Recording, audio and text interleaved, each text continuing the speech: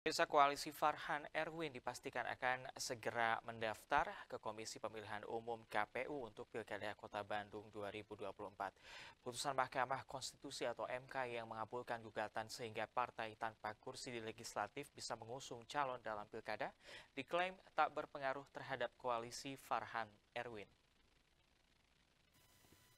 Kepastian maju dalam Pilkada Kota Bandung 2024 diungkapkan Farhan Erwin setelah mendapat rekomendasi dari Partai Demokrat Selasa 20 Agustus 2024 sore. Menurut Baca Walkot Bandung Muhammad Farhan, pihaknya akan segera mendaftarkan diri ke KPU Kota Bandung, namun pada pembukaan pendaftaran yaitu 27 Agustus Partai Nasdem sedang ada kongres di Jakarta. Farhan pun mengungkapkan jika koalisi antara dirinya yang berasal dari Nasdem dan Erwin yang merupakan Ketua DPC PKB Kota Bandung sudah terbentuk sebelum putusan MK tentang pilkada. Farhan menegaskan koalisi tersebut tetap solid.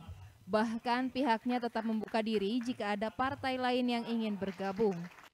Ya, insya Allah dan kalau ada yang bertanya bagaimana terhadap putusan MK tidak akan mengubah koalisi kami bersama PKB karena koalisi ini sudah terbentuk sejak belum ada yang tahu adanya putusan dari MK tersebut.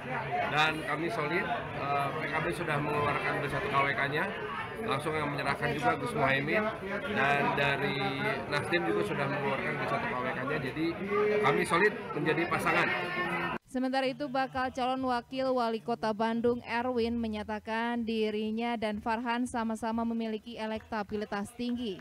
Pihaknya juga mengajukan diri sebagai kepala daerah sebagai ibadah untuk membangun kota Bandung. Kebetulan hasil survei kita ini sama-sama tertinggi.